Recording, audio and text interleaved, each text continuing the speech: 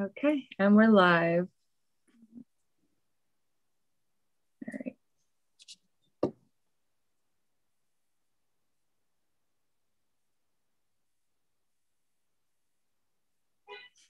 And we're live. Okay. So we're just going to wait for people to start coming in and then we'll get started in just a couple of minutes. And how's your day going, Reina?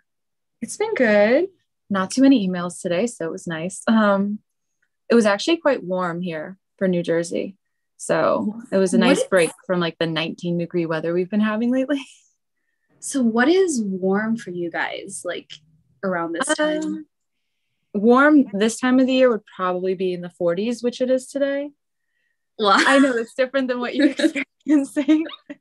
yes. So, um, in Hawaii, for us, specifically for my island, because the other islands, like the temperatures vary a little bit more.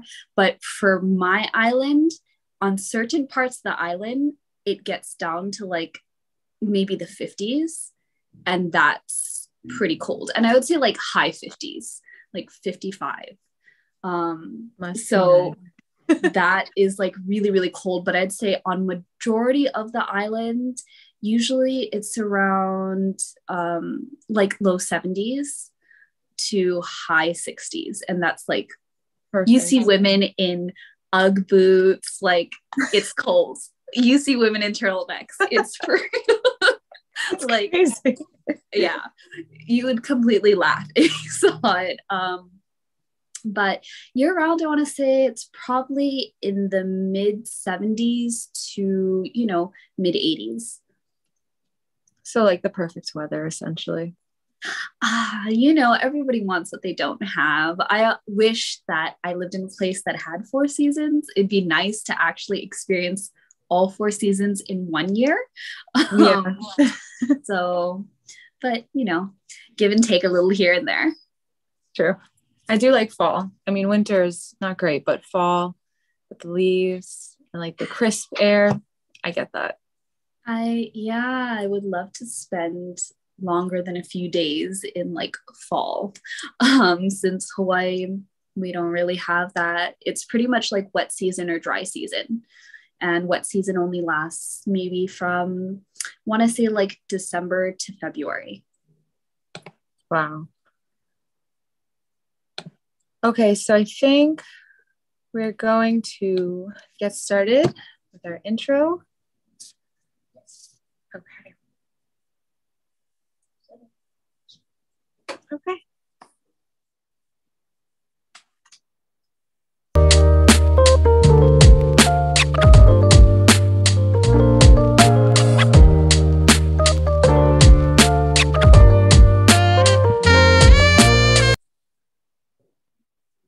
Hi, everyone. Thank you so much for joining us. My name is Reina. I do the social media and customer service here at Zillabeau. So if you've ever emailed us or DM'd us with a question or an issue, I'm usually the one who you've spoken to and tried to help as much as I can. Um, I'm so excited to be showing you all this new series we are starting. It is My Pursuit to Learn How to Do Nails. I am a complete newbie. Um, I get my nails done by one of our Leafgel educators. So I love nails but I don't have that much education on them myself. So we are going to be learning together the basics um, of base gel, color gel, top gel, everything um, that will help me learn the best I can to be able to do nails just like all of you. Um, I started Zillabeau about a year ago, and in that time, I've just fallen in love with nails, nail art, all the products we have, which are beautiful. And I just have such an admiration for nail artists and what they're able to create. I think it's insane on such a tiny little palette. So uh, I have Devon, Dev the Nail Junkie, here with me today. She is a Leafgel educator as well as a Fiote educator for us. And I'm going to switch it over to Devon now, and you could tell us a bit about yourself and about being a Fiote educator. So um, I think Reina forgot to mention how I am addicted to Zillabeau products. So um, My name is Devon, aka Dev the Nail Junkie, and I am a Leafgel educator and Fiote educator. And today I'm basically here to help Rain out on her new nail. Be- new newbie nail lover journey. Um, I have about 10 years of experience in the nail industry and I am still learning. So um, I became a Fiote educator earlier this year. Oh, wait, Oh no, we just started this year. Okay, so I became a Fiote educator last year. Um, basically, I became an educator because I was looking for a gel polish brand to learn more about and work with more. Um, currently, I primarily use like Japanese potted gels, which creates amazing freehand nail art. Um, you can do such a large variety of techniques. But something I noticed was that for certain art techniques, it required gels with a lot thinner viscosity. So I noticed that, you know, I can create a lot with my current set of gels, but I still needed other types to do even more art. And that's when I found out about Fiote and I tried their products, realized that they have amazing pigmentation, um, that they're non toxic, you know, 10 free, all these wonderful things, gorgeous bottles, great viscosity. And on top of that, the wear time is about five weeks long. So I kept my raggedy nails so that way I could show you guys. This is week four. And even though it's a little bit blurry on camera, I can tell you that there is no lifting like at all. It's been great. So you know, it's perfect for someone like myself where I don't have a lot of time to do my own nails. So I need something that's like good to go for a long time. And Fiote has been the answer to that. And on top of that, they have like perfect compatibility with Leafgel. So what more could I ask for? I can't believe your nails haven't lifted, honestly, looking at yeah, how know, far crazy. out it is. Cause even after like a couple of weeks, I'm just like, all right, I need new nails. Like I'm dying. But that that's really cool. So tell me more about what Fiote itself means, like the name and the company. So Fiote basically means um, it's comprised from two words, fiore, which is the Italian word for flower, and clarté, which is the French word for light. And then, sorry, I like blanked out just now. did you say tell you about the name and also the company or just yeah. the name? any info um, you have about Fiote. Okay. No, maybe so, things that you really like about them, other than obviously the no lifting thing. So basically, um, part of the reason that I lo- give me one sec. I'm just gonna like adjust the camera slightly. That's fine. So basically what makes Fiote so special is that all of their key ingredients are imported directly from Germany. They are non-toxic, 10-free, and have the highest cosmetic grade. Um, Fiote even has a designated quality control department. So it ensures that you are always going to receive the absolute best product because they are spending the time to double check it and make sure that it's good to go. Um, also, they are one of the few brands that gives full disclosure on the ingredients that they use. And then, of course, like I said, the amazing wear time and the colors and all the other good stuff. so then tell me about the process of you becoming an educator for them. What okay, made so, you want to become an educator and like what perks does that have for, you know? Um, basically, the thing that made me want to become an educator was the fact that I was looking for more um, like gel polishes to work with because I didn't really use any at the time. So that was one of the big things. But another thing is that I decided to enter a competition that Zillabeau was holding and um, I participated and I won. So I am here today talking to you guys. Um, some of the things that I think has been awesome about becoming an educator is that it helps further establish your credentials. It creates like a unique selling factor for why clients may want to choose you over maybe another salon. For example, if you're advertising that you use these like non toxic, high quality, beautiful products that last a long time. You know, it gives clients something that they can like look forward to or trust in. Um, other great things about being an educator is that uh, you have more opportunities to earn a little bit of an additional income. Um, educators also receive discounts on Zillabeau products. And sometimes, if you're lucky, you even receive a little bit of free product as well. Nice. Wow. So that sounds like being an educator is kind of the best of both worlds. You get some freebies sometimes or you know some discounts but then you also get to say to people, hey, I know what I'm talking about. I use these amazing products and I've trained with the company themselves. So it gives like a level of assurance for your clients. It really does. Also, I think, um, you know, when you start doing more projects and stuff, you're basically increasing your search engine optimization. For those of you who know what that is, it's like so that way when clients maybe research you or google your name you come up associated with also these like other amazing brands. And that's the goal right? Yeah exactly. Okay so let's talk about what we're going to be doing today with these amazing Fiote products. So we're going to be going over the base gels they have and yes. i'll let you take it away with what tools we need and i'll okay. show you. the tool so, um, when you are doing your nails, these are some of the basic things that you're going to need.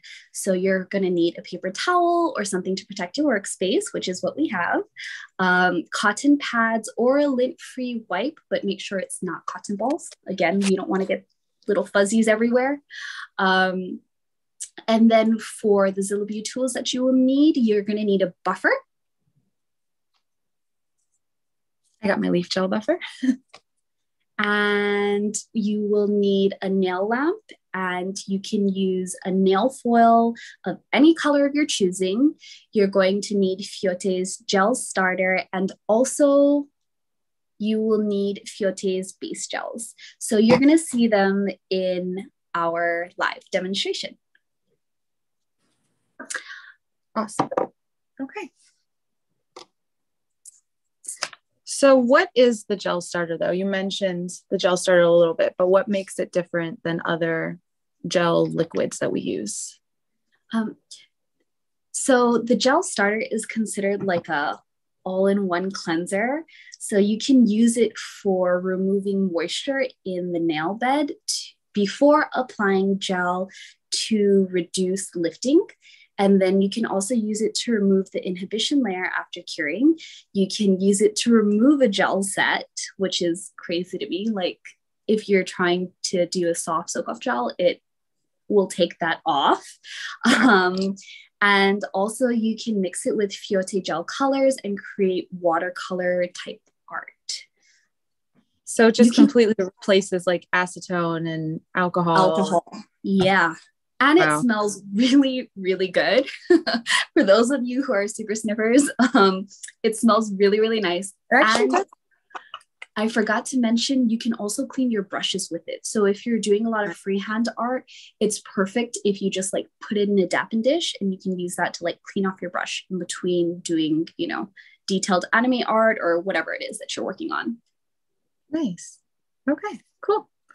So let's get started Okay, so first you are going to need to grab your nail tip. Okay, I have my handy dandy give me tip. So now you are going to grab your buffer and you are going to want to buff the surface of the nail. Okay, so is it short little motions or long sweeping motions? We can do long motions. So, for example,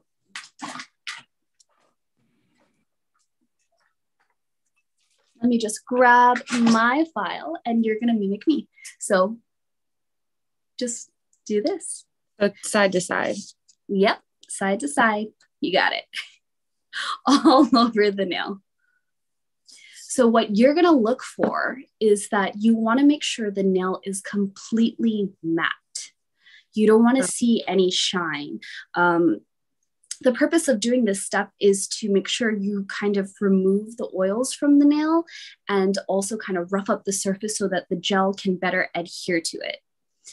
In a normal setting, you would like prep your nails and clean or clean, then prep, cuticle care, um, do all that other stuff, but we don't have to worry about that today. So, so is there a trick to kind of getting the little sides that are difficult to yes. get sometimes. so if you hold the file, like, hold on, I've never had to like explain it this way. So I'm like thinking, if you hold the file like this, so your index here and your thumb here. Okay. So like make an L shape and then go like this. Yes. And then you're going to use your middle finger to like kind of hold it in place. So like underneath. Yes. Yes. Okay and then it makes it easier for you to like go like this when you're filing to really like curve okay oh yeah now i got that so then you could just like or you can do like the long strokes on the side if it helps you're doing great Reina. Yeah. i think you got it i think okay. you got it cool so this is my okay, so now added out tip you are just going to use like a cotton pad with nothing on it to wipe away the dust. Traditionally, we would put gel starter on it, but because we're working on a fake nail tip, we're not going to do that. Yep. Okay. So just so just wipe that away. Perfect. The worst part of when you apply gel is when you get like little bumps and fuzzies or dust in it. It's yeah. god awful. um, so now we are going to get ready and grab our two gel bases. Can you show them on camera for us? Okay, so you have two options with Fiote's base gels. They are made from the same formula, however, they have different viscosities and a different brush length. So the OZ base gel has a thinner viscosity and has a longer brush. I believe it's 12 millimeters length. And then the addiction base gel has a thicker viscosity and it has a eight millimeter brush length, I believe. Yeah. So which one should we pick? I think today for instructions, we're going to go with my favorite, and that's the addiction based gel. So you can so just wait. put the OZ away. Quick question. What is the difference or benefit between the different viscosities? Is there okay. a scenario I would use the thinner compared to the thick? Yes, there is. So, for example, I think it just kind of depends on what your client needs um, or what you need, and also what type of art you want to do. So, for example, if I was doing the very, very popular Aurora ice nails, mm-hmm. where it requires like it to be kind of thicker and more bulky to create that aurora ice effect, I would probably opt for something like the OZ base because it's very thin. So it's not going to add that additional um, thickness, especially because later on when I do the art, I'm going to have to add that thickness. So mm. it helps to just kind of make the nail look a little slimmer. Um, but I would use something like the addiction base if I was going to apply it on a customer whose nails maybe needs more support. Maybe they have thinner, more fragile nails, or maybe my nails are kind of weak or something. So then I would want to use the addiction base because it's got that added thickness.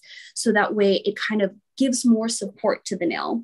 So when I work with clients who have, you know, maybe thin or damaged nails, I try to offer them support um, throughout the gel process. So, for example, I would start with maybe a base gel that has maybe a thicker viscosity, and then, you know, a few more times throughout the nail process, I would select items that have thicker viscosities to help support the strength and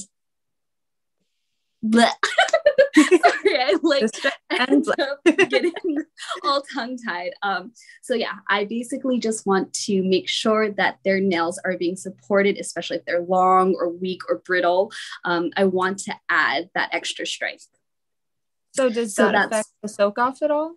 So does uh, it make it like a longer process if you use a thicker viscosity compared to a thinner, or is it kind of the not so much. Uh, not okay. with the base shells I feel like okay. it's not too much of a dramatic difference. Okay, cool. All right, so do I go for it? mm-hmm. You're gonna go for it. You can open the bottle. So this isn't like normal nail polish where you have to shake it or smack it against your hand or anything like that. Do not, do not. D- nope, it, just open it as it is. yeah. So then you're gonna go ahead and you're just gonna kind of remove the excess off of the lid. So like this, or sorry, I feel like there's another way to say it. So usually the way that I do it is I can just take the bristles and kind of go back and forth like this. Okay. So what you're doing is you're getting the gel to create a small bead right at the tip of the brush. Okay. You got it? Yeah, do you see a little bead now like at the tip? Yes. yes. Okay. Very little. Let me try again. We get a good one. Now I'm doing it with you right now. like okay. Now make sure. So now you're going to go ahead and cap your free edge. So that's the very top edge of the nail. So you're just going to take the brush and you're mm-hmm. going to like pull it along this edge.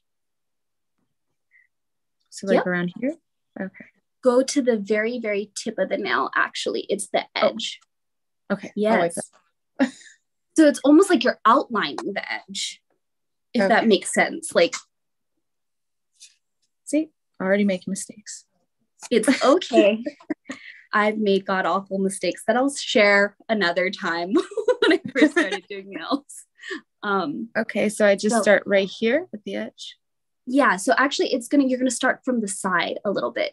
Yes, from there, and then you're just gonna kind of run the brush over the edge like an outline. So think of it like you have a tiny little detail brush and you're just painting the edge of it. Okay. Yes. And now you're going to do the other side. Perfect. Yes. So that's called capping the free edge. Um, mm-hmm. we do that so it helps reduce the chances of lifting. Then you're going to go from the very tip of the cuticle. So, where the cuticle line would be, yes, that side. And now you're just going to drag the gel brush from there in one stroke all the way down. So, like this. So start here and then just go all the way down.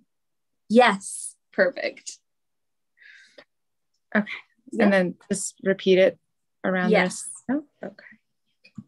So just like how you would with regular nail polish. Yes. And then I think after that, you can do the other side. Okay. Yep. I think that should be good. Perfect. Does the whole nail look shiny and clear to you? Yes. Okay, it's ready for curing. A little bit on the side. okay. okay. so how long would I cure that for? So you're going to want to cure this for 30 seconds in a 36 watt lamp. Okay. It is now curing. So yeah, I definitely have to say one of my favorite bases is the addiction base because again, five week wear time is like crazy. crazy. it's so crazy. And I think last week um, on the Zillabeau Instagram account, there was an image of my nails posted from the day that I did it, which was like December 16th or something. Or yeah, I, I can't even remember. And now it's, um, I believe the photo was like a before and after. So then yeah. it was like three weeks later. And now this is the fourth week and we're still doing just fine. No lifting. It's not getting stuck in my hair. Um, it's you great. just see how long you can go, honestly. just see it's wild. I know. I'm kind of curious, right? I'm kind of curious about that. Um, so in Hawaii, we have this phrase called shigo, and that means like you know it's still good you can still use it so yeah. the joke is that like with my old grown out set, it's she go. Like you go. We're still good. okay. And this is all done curing. Okay. So now that it's done curing, you're going to notice that there is a very sticky layer that is like, yep, you can just touch it real quick if you want out of curiosity. um, so as you can see, it's very sticky. Uh, that is like the inhibition layer. So it's a small residue of gel that did not cure that sits on the top layer and it kind of works as like adhesion for the next gel color or whatever you're about to apply on after this gel. But today, for the purpose of the demonstration, I'm going to have you remove that with your gel cleanser and a cotton pad or lint free piece of paper, whatever you want to use. Whatever I got, basically. Okay. So can't see but I put gel starter on it on this and I'm just mm. gonna wipe yep. it down. Okay. Just wipe it down. And when you remove it, you're gonna notice it's not gonna be as shiny, but it still kind of feels sticky, doesn't it? Yeah, a little bit. I think that's pretty much good. Yeah. That's it. That's all you have to do to remove the tacky layer. So now you're going to grab your nail foil and I'm going to show you guys a super cool trick about um, both of Fiote's base gels. We call this like an adhesion test. So can I see the other side of that foil, Reina? Flip it over. Okay, good. I couldn't tell which was the, the shiny side and which wasn't. So now with the foil, you're gonna just go ahead and put it on top of the nail. Just over the whole thing? Yep. Other side. Other side. Okay. Yes. The yes. shiny side should stay up? Yes, the shiny oh. side should stay up. Oh, that and makes then, sense. That's what'll show on the nail. Yes. Right. And then you're gonna press it, use your finger to like push it down. Yep. You can just kind of go like this. Yeah. Spread it on out.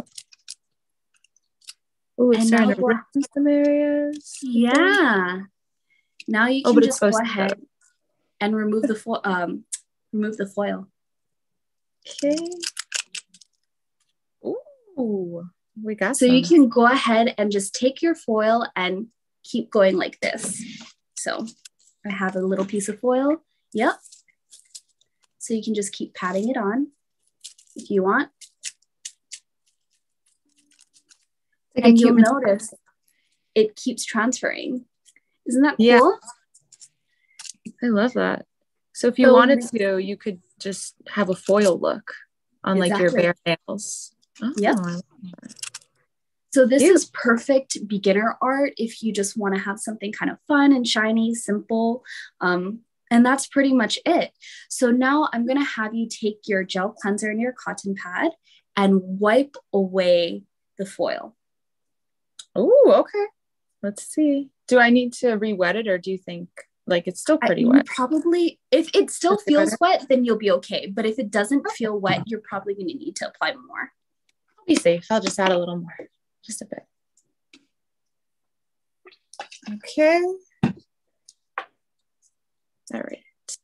Now I just wipe again. Yep, wipe it away. Mm-hmm. Oh my gosh, it's coming off it's coming off. And now once it dries, once the nail is all dry and it, you've wiped it away, I think that should probably be good. Mm-hmm. Okay. Let me know when it feels dry. You can touch it.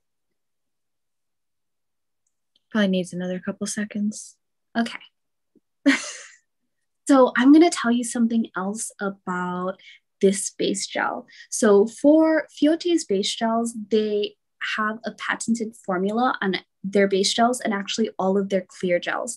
And they created a very, very, very unique formulation that works so well with the natural nail. And they tried to even like mimic um, the flexibility of the natural nail. So basically, oh what happens is that if the nail is really flexible, but the gel you put on top of it is not, it can cause um, like lifting or higher chances of lifting when you're doing like everyday activities because your nail underneath might be kind of moving and flexing but if the gel doesn't flex with it then you have a higher chance of the set not lasting as long. So Fiote made sure that their gel polishes flex with the natural nail but at the same time are still very very strong and durable. Nice. So if you have a gel that doesn't flex as much with your nail like Fiote's do is there also a risk that you might break a nail? Because maybe um, it'll be it chip. yeah it might chip or um, depending on like how uh, thickly or thinly it uh, the gel is applied there is a chance where you could break a nail easier.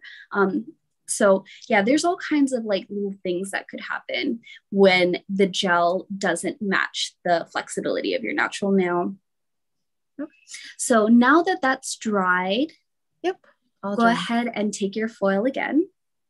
Oh, okay. With the non-shiny side? Yep, the non-shiny side should be down. Okay.